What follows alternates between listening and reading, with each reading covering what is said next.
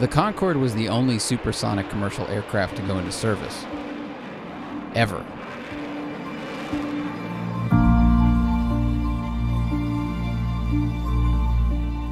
During cruise at Mach 2.05, it produced around 40,000 pounds of thrust, equivalent to 144,000 horsepower.